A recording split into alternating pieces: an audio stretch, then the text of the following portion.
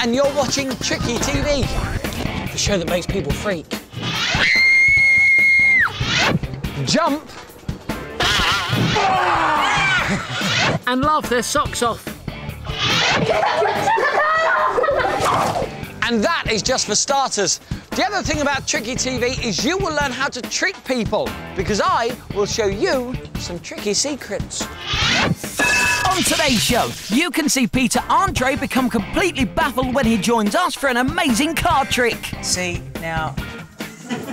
Now that's magic. That's how it is. Plus, how not to get taken in by the red and black chips trick in Beat the Cheat.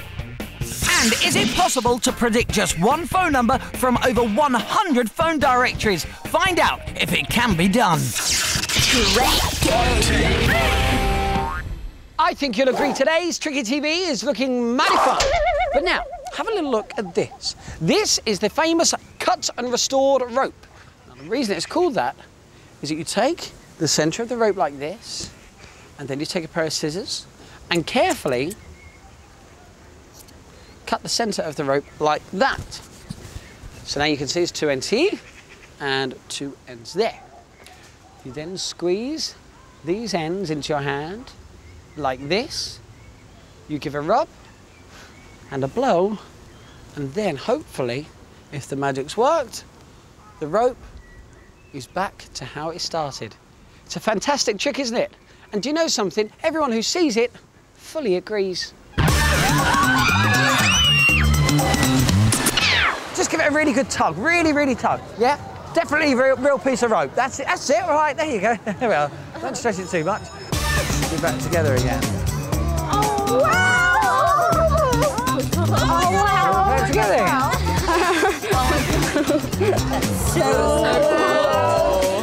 Hopefully, the rope is back together again. Ah. It's a classic trick, and I'm going to show you how to do it so you can join the secret circle. Normal piece of rope. I'm behind the scenes of a TV studio and in the dressing room of TV presenter, pop star, and pin-up Peter Andre. How are you? Well, now, I don't know about the pin-up, but I'm just telling you, I can't wait to see this. This tricky TV. You've been telling me about it. I want to see it. It's going to be good, I promise. Now, before we do anything, okay, it's very important. We've got a box of uh, playing cards just here. What I want you to do is to put them in your pocket, any pocket you like, but just make sure I can't get to them. solid. Okay. Solid. Brilliant stuff. That's very Solid. important. Now, we also have a pack of cards here. They're all completely different. And uh, Pete, if you want to check that out. Yeah, I want to check that they're all different. They Okay. are. They are. And if you would, just mix them all up, give them a good shuffle. And as you're shuffling them, just get any playing card you want in your mind, anyone at all, okay? But just think of anyone and try not to change it for now. Okay, that's good. All right, now whilst Peter's uh, shuffling the cards, I'm going to show you at home the blade of death, otherwise known as the fork of death. Now, before uh, someone tried this out and ha- had a big accident, it was just called the fork. I'd like you to meet Blade and Razor and Blazer. Okay, the idea is this. When you stop shuffling, I'm going to ask you to throw the cards in the air. Right. When you throw the cards in the air, I'm going to turn round and try and stab the card that you come just on. thought of. Well, what am I supposed to do? What? Have you seen how close that wall is? This is very important. When I do say throw them, you need Ah. to, to move as fast as you can. Um, There is nothing worse. yeah. Yeah, good. Yeah. There is nothing worse than the cards on the floor and obviously Peter Andre. well, what if you can't reach there? Right, now don't worry about the, the reach. I was just going to ask you about that. It's all in hand. Oh, fair, fair now. Okay? Mm. Here we go then. Well, hang on a second. I haven't finished shuffling yet. I'm I've going to to ask be you to put, sure. Gonna ask you to put them back in the same order they started in a minute. No, I'm joking. Okay, here we go. Are you ready? So what? Throw. you throw, Run. then you run. Right. Here we go. Peter Andre, throw the cards after the count of three. He tricked me. no, no, no. You tricked Don't me. worry, this, this sometimes happens. It sometimes happens. It's under control. So no stabbage. Not a problem. Remember the cards that you've had in your pocket? They've been poking out all the way through. They've haven't been in there. No, he hasn't been in me. I swear. You know that. Slowly take the cards out of your pocket. Okay? At your fingertips. Fantastic. Now I'm going to hold them on my fingertips as well. You can see I'm not touching them. Not touching any of the playing cards inside. Name the card that you're just thinking of. Any card. Okay, and I swear We have not talked about Then this. set it up. Nothing, nothing, nothing. Name it. Six of spades. Six of Spades. Do you want to change your mind or are you happy with the mind you've got? Well, the question is, would you like me to change my mind? No. I'm happy with the answer I got. Are you happy? I'm happy. Okay, look, watch this, look. You can see the cards, all right? Okay. Watch. Have a close look. Watch. Go through. One See, card that's face up. ridiculous. One card face up. But not only that, you could have thought of any one of it two. Not only is the Six of Spades the only one face up, Peter, look. It's the only one, have a look, with a blue back. See, now, now that's magic. That is, uh, yes. That is magic. Six of Spades, that's a good trick, and that's Peter Andre. Thank you very much. I've just been shoveled. Spade. Right.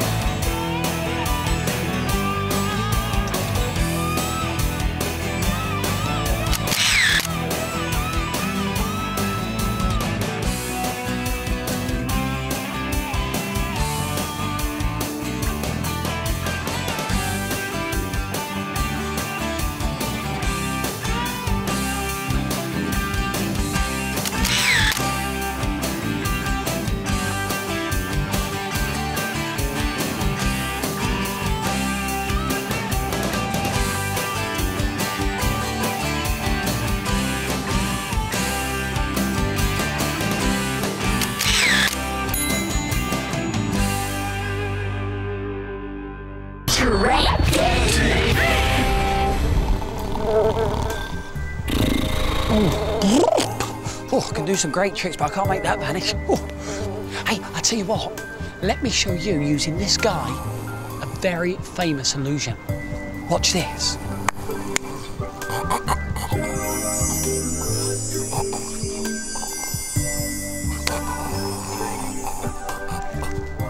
Hey, it's great, isn't it? And do you know something? When you come back, I'm going to show you how it's done. Also coming up on Tricky TV, we attempt a massive prediction trick, over 100 phone directories, and an amazing secret weapon. We reveal the secret of the red and black chip trick in Beat the Cheat. And I'll tell you the secret of the magic rope that you can cut in two and then join up together again.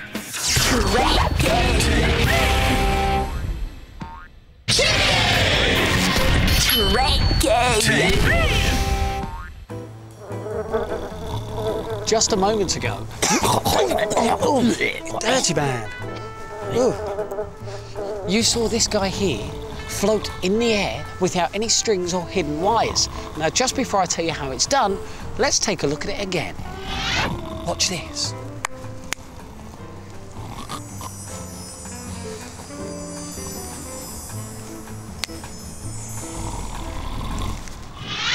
It does look great, doesn't it? Well, now let's show you how we did it. First of all, this guy here, he's not sleeping. Oh no, he's actually my mate Chris. Right, Chris? Yeah, good. And these aren't Chris's feet. Oh no. In fact, these aren't Chris's legs. They're just broomsticks covered in bubble wrap to give the thickness of a leg. So when I snapped my fingers, that was Chris's cue to raise the broomsticks and his body to make it look as though he was really floating. Then I snapped again, and he went back down and pretended to fall asleep. So the whole thing was just one big trick. The only thing that was real was the smell.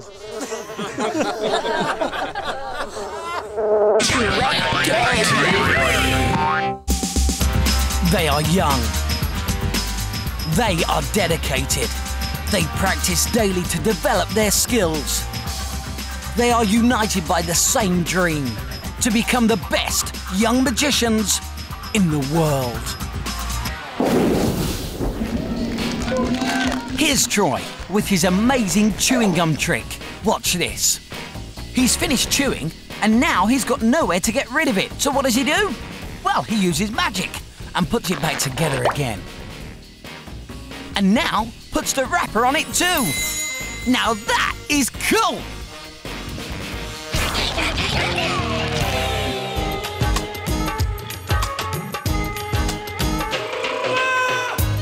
Know there are some people who will do a trick to simply try and cheat you? Well, of course, you know I wouldn't do anything like that. Oh no. But I know a man who would. Okay, the idea is this. We've got uh, we've got two discs here, and these are used in gambling games, and they're called chips. And uh, with chips, there's always a red one, and there's always a black one. Now, what I'm going to do is put them behind my back. I'm going to mix them up, and you have to try and work out where the red one is. Okay, so let's have a go. Who wants to have a go? All right, uh, you can have a go. Where is the red one? No, that's the black one. No, we'll do it again. Don't worry. Do it again, okay? Where is the red one? No, that's the black one. No, because the red one's over here. All right, hello, mate. Where's the red one? Which one? Just point to either hand. No, it's the black one. Let's go again. Um, which one's the red in? No, black. Yeah, sorry, no. Well, we'll go again. Look, who should we use this time? Let's have a look. Um, okay, uh, you, you over there. Which one? Which one do you think? No matter how many times they tried, you know, they think they've got a 50-50 chance. Actually, they've got no chance at all. So what is the secret of the coloured chips? Well, do you want to know it? Okay, here we go. The con man places his hands behind his back and pretends he's mixing up the chips. What he's actually doing is switching the red chip for a tricky chip. Now, the tricky chip has a red side and a black side. So he's now dealing with two chips. One has black on both sides, and the tricky chip, red side and the black side. He closes his hands and he asks the crowd, where is the red chip? Now, if they pick this hand with the totally black chip in, he just holds out his hand. He says, no, sorry, you're wrong, and shows the red side of the tricky chip. Now, if the crowd pick the tricky chip, then all he does is he slams it down with the black side face up. Simple. So now you know the secret. You can beat the cheat.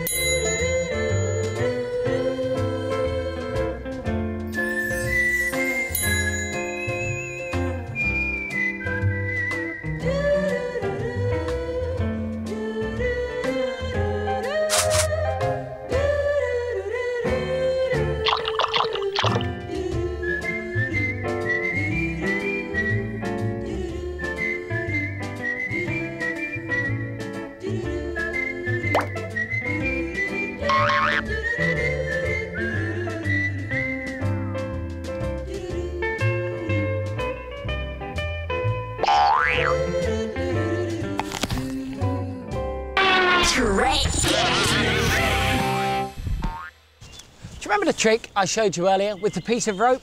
Remember this one? Thanks, Keith. I took the middle of the rope like this and then cut it in half like that so you could see clearly there were two ends here and two ends here.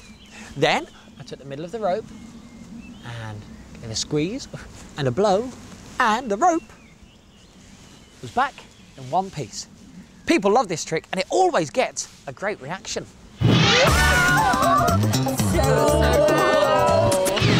I really like this trick and do you know, it's actually one of the world's most famous magic tricks. And now I'm going to tell you how it's done. Are you ready? The secret is this, just an extra piece of rope. It's that simple. Here's how it works. What you do is you have the extra piece of rope in your hand like that, and from the front, obviously your friends won't see it, because you just hold it by your side. Then you show the long piece of rope like this, and you run it through your hand, just in front of the extra piece, just there. From the front, you can't see that either.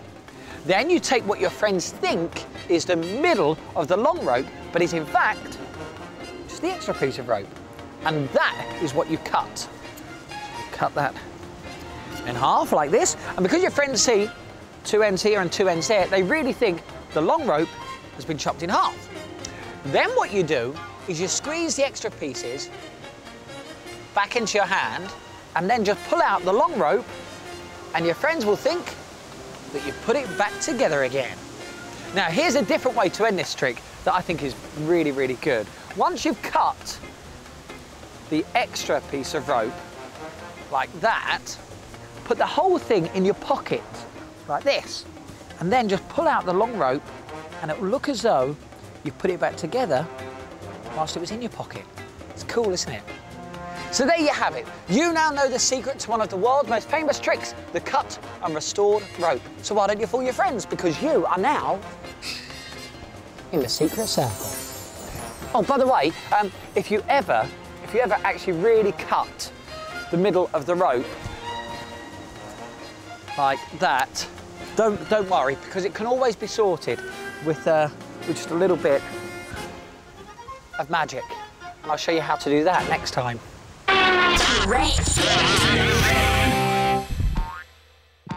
I've come along to Hastings Seafront to attempt a very big, and I mean a very big prediction trick. Now to help me out, I've got my friends from All Saints Junior School. Hello to you all, you all right? Yeah! Good stuff. We're also going to be using these. There's over 100 telephone directories from all over the country. Now, you've all checked that they're all different, haven't you? Yeah! Good stuff. Now, also to help us out, we've got Dr. Hal Sosabowski. How are you? I'm fine, Stephen. Nice to see you. Thanks for helping us out today. Um, can you tell me what qualifications you have? Yes, I've got a BSc, Yeah. a PhD, Wow. an MBA, and an MA, Wow. and an MRSC. That's unbelievable. That's a lot. It is. Any others? GCSE grade 6 in woodwork. Hey, we have something in common. now, here's the plan, okay? Um, I've made a prediction. Hopefully, we're going to try and make that prediction a reality in just a moment. Um, but with the uh, telephone directories, we've got 102 of them. Right. Um, on average, there's 210 uh, phone numbers on a page, Right. and there's the average of about 680 pages per directory. So, Okay. how many phone numbers are we dealing with? 14,280,000, Stephen. That's a lot of numbers. It's a lot. This could be a lot harder than I first thought. All right, now let's get this started and uh, let's see if it can work. Um, all of you, please go and grab a directory, please. Anyone you want.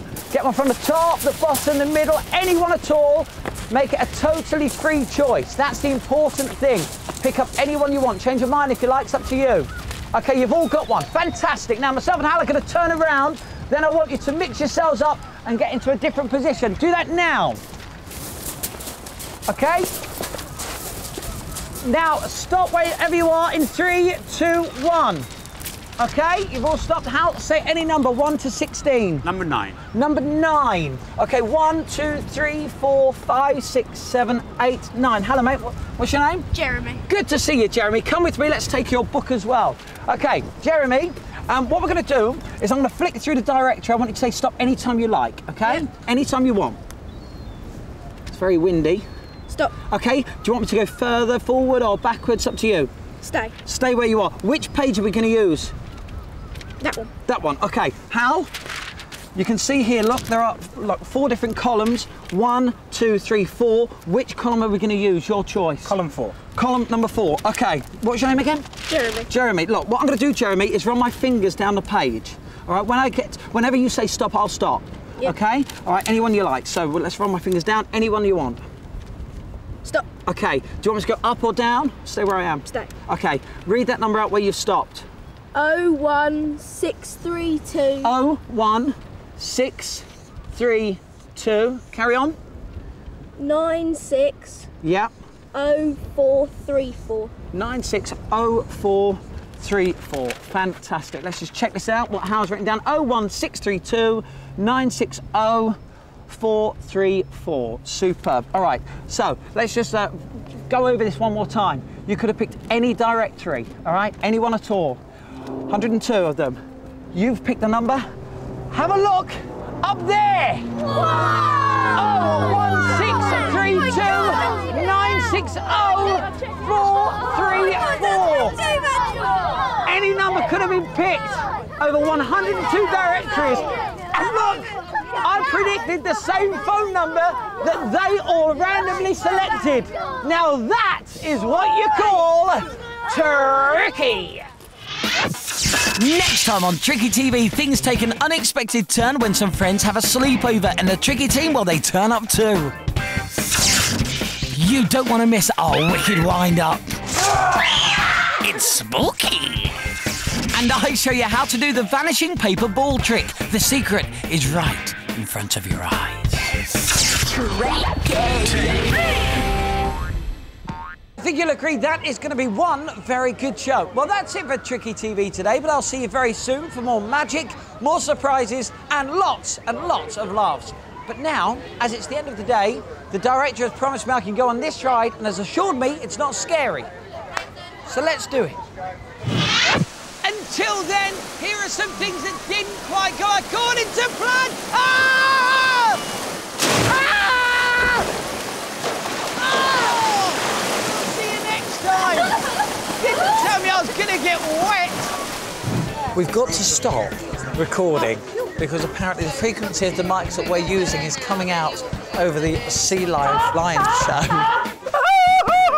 so apparently the, the sea lions are doing what I'm telling them to do.